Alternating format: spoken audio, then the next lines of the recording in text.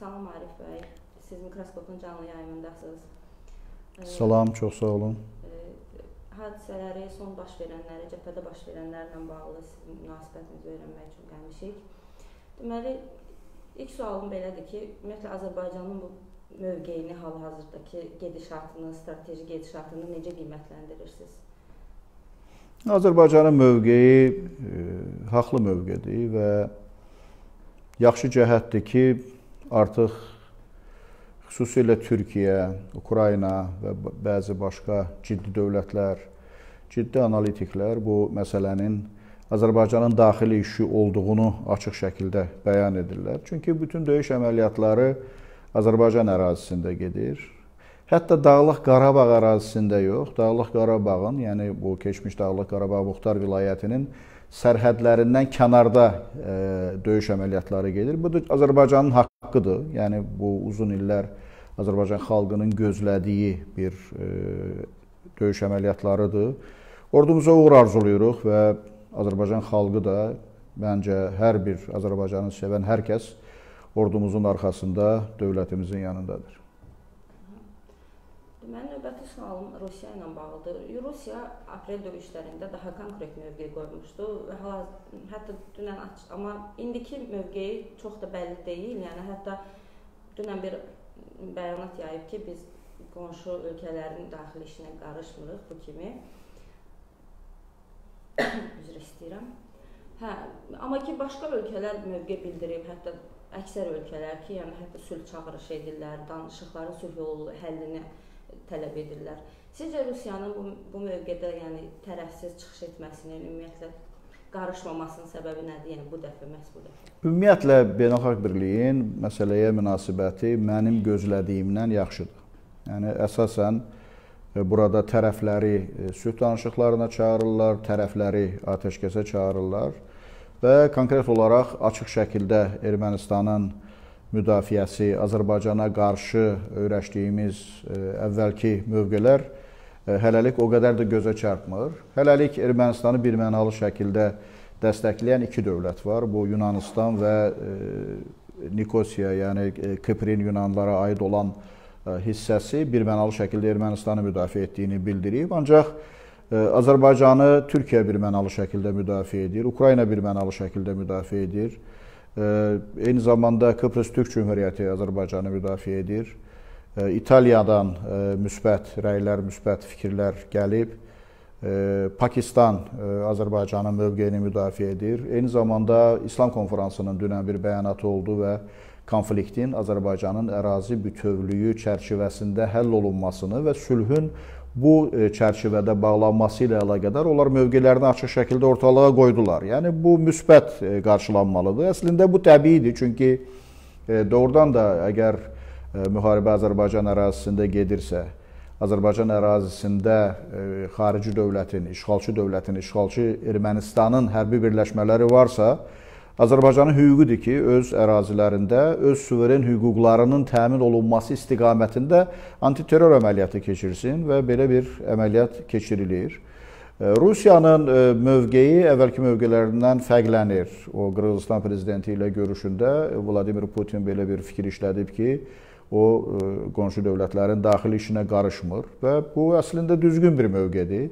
Bundan başqa ümumiyyətlə Rusiya məhz Minsk qrupunun həmsədrlərindən biri olduğu üçün bu məsələdə hökmən bir tərəf mövqe tutmalıdır. Çünki hal-hazırda Minsk qrupunun həmsədrləri Rusiya, Amerika Birləşmiş Ştatları və Fransa e, faktiki olaraq Qarabağ məsələsinin, Qarabağ münaqişəsinin nizamlanmasında arbitr rolundadılar. Yəni arbitr rolunda olan bir dövlətin burada hansısa bir e, tərəfi e, tutması təbii ki, bu arbitrın obyektiv olmadığını ortalığa qoyur. Mənə elə gəlir ki, e, əgər e, doğrudan da e, Rusiya, İran, bu tipli dövlətlər, beynəlxalq birlik bu məsələyə qarışmasa, elə Türkiyə Cümhurbaşqanı Rəcəb Tayyib Ərdoğanın dediyi kimi Azərbaycan öz göbəyini özü kəsəcək və torpaqlarını işğaldan azad etməyə nail olacaq. Arif bəy, siz özünüz elə Türkiyəni vurğuladınız. Növbəti sualım elə Türkiyə ilə bağlıdır. Bundan əvvəl də qısa müddətli döyüşlər olub, yəni ki, döyüş əməliyyatları olubdu. Türkiyənin yəni bu qədər açıq mövqe bildirdiyi dəstəyi hiss olunub, amma bu qədər yox. Yəni hətta e, şərhçilər Mən deyərdim ki, lazım olandan biraz artıq e, münasibət hə. bildirilir. Yəni hətta, e, mənim mövqeyim nədir? Çox üzr istəyirəm. Buyurun, yəni buyurun. Türkiyə verdiyindən daha artıq dəstək verməlidir. Amma dediyindən daha az bu barədə danışmalıdır. Bax, mənim mövqeyim belədir. Aha, yəni çoxdur. Yəni Türkiyənin mediası demək olar ki, tez-tez bu barədə açıqlamalar yayırlar, videolar yayırlar. Rəsmiləri tez-tez açıqlama, açıq dəstəyini bildirirlər. Elə Ərdoğanın özü də. Hətta yəni tənqidçilərdən, şərhçilər belə bir mövqe bildirirlər ki, Ərdoğan həm həm də öz Qafqazda öz mövqeyini gücləndirmək məqsədi ilə bunu eləyir. Siz sizcə nə düşünürsüz? Yəni? Mən hesab edirəm ki, Türkiyənin Qafqazda mövqeyi güclənməlidir. Bu region əslində türk regionudur. Bir xəritəni gözünüzün qarşısına gətirin. Yəni müxtəlif dövlətlər e, tarixən türk xalqlarının yaşadığı əraziləri işğal ediblər. Məsələn, Xəzər sahilini götürək. Türkmənistan, Qazaxıstan, Həştərxan, Başqurdistan, yuxarıda Tataristan, aşağıda Dərbənd Azərbaycanlıları, Qarakalpaqlar, Qaraçaylar, yəni e, Kumuklar, sonra Azərbaycan, keçirik İran ərazisinə, Cənubi Azərbaycan, Buradan e, Iğdırdan keçirik Türkiyəyə, Türkiyə türkləri. Yəni bura türk regionudur. Borçalı ərazisində türklər, Dağıstan ərazisində türklər, e, Gürcüstan ərazisində e, Borçalıda türklər. Yəni Əlfəz Elçi bəyin belə bir ifadəsi vardı. Deyir biz yeganə xalqıq ki, bütün sərhədlərimizdə öz millətimizlə əhatə olunmuşuq. Yəni bütün o ərazilər əslində tarixən türklərin yaşadığı, yəni bizim millətimizin yaşadığı ərazilərdir və bu ərazidə e, Türkiyənin təsir imkanlarının artması müsbət haldır. Yəni e, Türkiyə hər halda Rusiya ilə müqayisədə şübhəsiz ki, daha demokratik bir dövlətdir. Orada məsələn təhsildə, səhiyyədə rüşvətxorluq yoxdur, korrupsiya yoxdur. Eyni zamanda orada e, ədalət mühakiməsi sistemi müəyyən qüsurlarda da olsa fəaliyyət göstərir və e, Türkiyə xarici ölkələrdə avtoritar rejimlərin əsas e, dəstəkçisi kimi Rusiya qədər bütövlükdə dünyada gedən proseslərə təsir edə bilmir. Yəni bu baxımdan Qafqazlarda Türkiyənin mövqeyinin güclənməsi həm e, Azərbaycanın maraqlarına uyğundur, həm e, deyək ki, Gürcüstanın maraqlarına uyğundur. Bilirsiniz ki, bir çox kommunikasiyalar məhz Azərbaycan, Gürcüstan üzərindən Türkiyəyə, Türkiyədən də e, Avropaya gedir.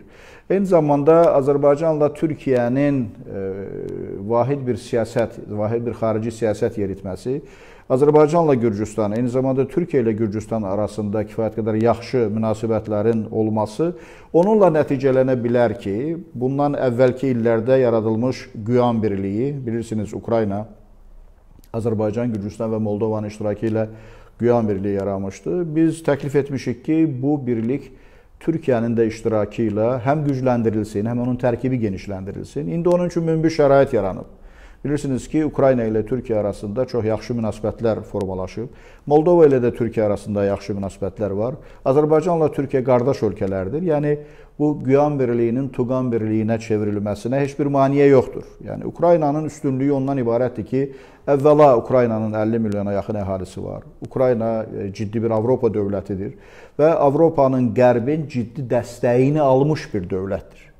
Türkiyənin gücü ondan ibarətdir ki, Türkiyə ordusu etiraf olunduğuna görə NATO-da Amerika ordusundan sonra ikinci ən güclü orduya e, e, deməli ən güclü ordu Türkiyə ordusudur. Və e, eyni zamanda məsələn Türkiyə deyək ki, məsələn Rusiyaya nisbətən demokratik prinsiplərə daha çox yaxın, daha çox əməl edən bir dövlətdir. Türkiyə Azərbaycanla bir müttəfiq dövlət kimi Azərbaycanda deməli həm siyasi, həm demokratik inkişafın deməli şərtlənməsində müəyyən rol oynaya bilər. Bütövlükdə əgər Xəzərin o üzünə keçsək, Türk dünyasının birləşməsi və Türk dünyasında sivil münasibətlərin formalaşması, dünyəvi dövlətlərin güclənməsi istiqamətində fəaliyyətin getməsi mümkündür. Yəni bu baxımdan Türkiyənin Qafqazlarda mövqelərinin güclənməsində biz maraqlıyıq və hesab edirəm ki, əgər Türkiyənin apardığı bu siyasət nəticə etibarilə Qafqazlarda Türkiyənin mövqeyinin güclənməsi ilə nəticələnəcəksə, bu müsbət bir haldır. Həm Azərbaycan üçün müsbət bir haldır, həm Qafqaz üçün müsbət bir haldır, həm də dünya üçün müsbət bir haldır. Yəni dolayısıyla siz də hardasa razısınız ki, Türkiyə həm də həm qardaş ölkə mövqeyindən çıxış edir, həm də Qafqazlarda öz mövqeyini gücləndirmək məqsədi. Təbii hər bir dövlət öz mövqeyini gücləndirməyə çalışır. Məsələn, əgər bizim imkanımız olsa nədən məsələn Gürcüstanda, İran ərazisində, Türkiyədə ya Şimali Qafqazda mövqeyimizi gücləndirməyək. Hətta imkanımız olsa niyə elə Ermənistanda mövqelərimizi gücləndirməyək? Təbii ki, hər bir dövlətin belə maraqları var. Türkiyənin də belə maraqları var.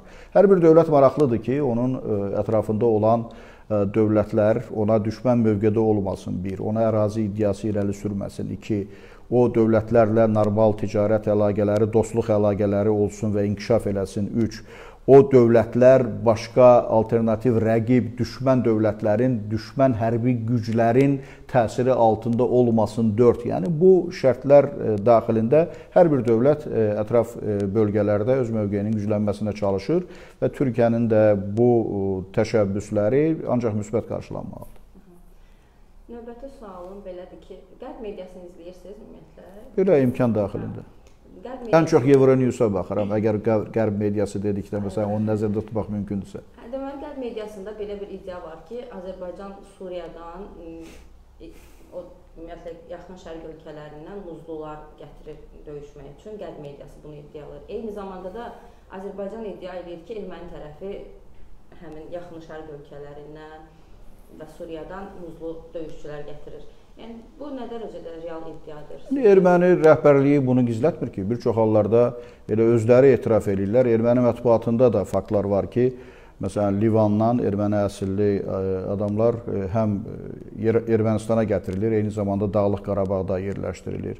Dəqiq məlumatlar var ki, PYD, PKK döyüşçüləri həm Ermənistan ərazisinə, eyni zamanda Dağlıq Qarabağ ərazisinə gətirilir. Elə bu günlərdə mən bir məlumatla rastlaşdım.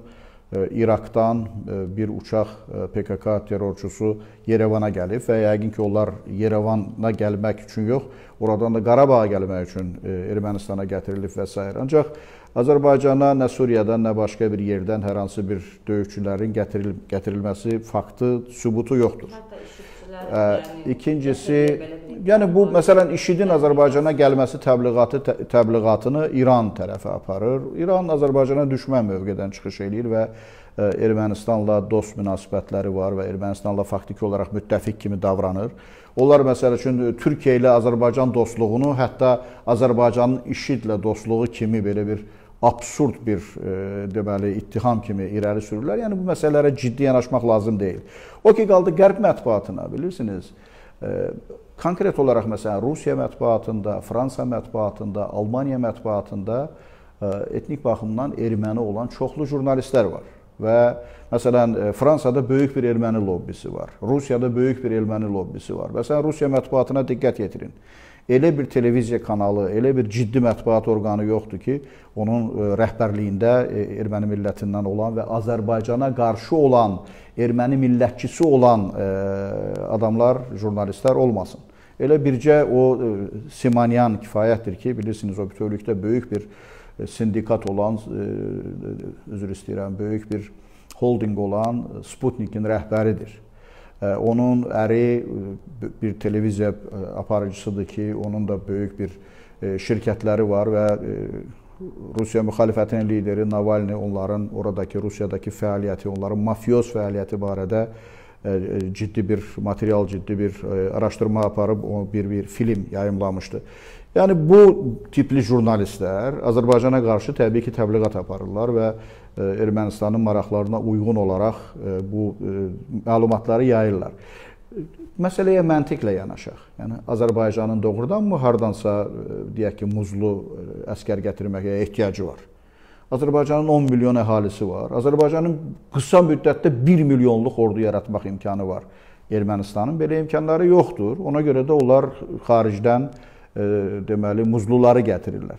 Hətta Sovet dövründə məsələn e, Azərbaycan ölkədən SSR-dən miqrasiya etmək meylində olan millətlərin siyahısı çıxarılmışdı ki, miqrasiya idarələrinə müraciət edən. Birinci yerdə yəhudilər idi, ikinci yerdə ermənilər idi. Yəni onlar o dövrdə də Ermənistandan və SSR ərazisindən çıxıb gedirdilər və sonuncu yerdə isə olan dövlətlərdən biri e, respublikalardan biri Azərbaycan idi. Yəni Azərbaycan xalqı öz torpağına bağlı olan bir xalqdır, öz ölkəsinə, dövlətinə bağlı olan bir xalqdır. Ermənistan isə yaxşı həyata, firavan həyata meylli olan bir xalqdır və təbii ki, indi Ermənistanda olan ağır iqtisadi vəziyyət, bu Qarabağın özündə əslində təhlükəsizlik təminatının heç bir zaman olmaması orada miqrasiya meyllərini bir qədər də artırıb. Yəni müxtəlif ekspertlərin rəylərinə görə Ermənistan əhalisinin sayı 2 milyondan azdır. Əgər e, burada nəzərə alsaq ki, bu əhalinin də təxminən bir 70% əskəri xidməti yerinə yetirə bilməz və faktiki olaraq əslində Azərbaycanın erməni xalqının sayı qədər ordu yaratmaq imkanları var. Yəni belə imkanlar ola-ola Azərbaycan nəyə görə xaricdən muzlu döyüşçü gətirməlidir? Alif bəy, sonuncu sualımı səsləndirirəm. Yəni bilirsiniz ki, biz sosial mediada, mediada da görürük, artıq çoxumuzun yaxınlarında da ə, şəhid xəbərləri gəlir, ya onlar yaxınlarının həlak olduğu barədə mülki şəxslər yox, məhz orduda həlak olanlarla bağlı xəbərlər gəlir. Amma ki Müdafiə Nazirliyi hələ ki rəsmi olaraq e, nə qədər hərbiçisi, hərbiçi Azərbaycan ordusunun nə qədər hərbiçisinin həlak olduğu barədə ə, e, xəbər və rəqəm demir.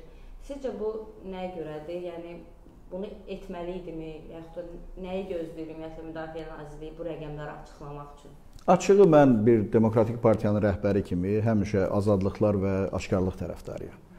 Ancaq müharibə dövrünün gedişində mən bunun düzgün yoxsa yanlış olduğu barədə bir qəti fikir söyləməkdə çətinlik çəkirəm. Çünki ordunun bu döyüş əməliyyatında konkret olaraq hansı taktikaya uyğun e, davrandığı barədə məndə müfəssəl məlumat yoxdur. E, əgər təbii ki, bu döyüş əməliyyatları uğurla nəticələnəcəksə və deyildiyi kimi, vəd olunduğu kimi e, ərazilərimiz işğaldan azad olunacaqsa və Ermənistan tərəfi Azərbaycanın diktə etdiyi şərtlər əsasında sülh müqaviləsi imzalamağa razı salınacaqsa, bütün bu məsələlərə e, xalqımız da dözümlü yanaşmalıdır.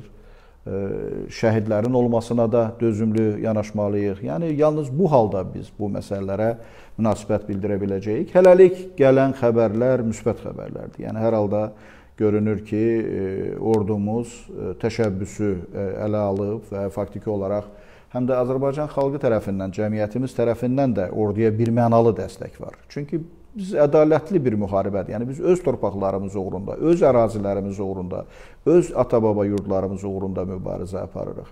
Biz məsələn e, Xocalı şəhidlərinin ruhlarını şad etmək uğrunda, Azərbaycanın 30 il ərzində qaçqın düşmüş, həyatları korlanmış, həyatları məhv olmuş milyonlarla Azərbaycan vətəndaşının əmin-amanlığı uğrunda, sülh uğrunda mübarizə aparırıq. Bu haqq mübarizəsidir.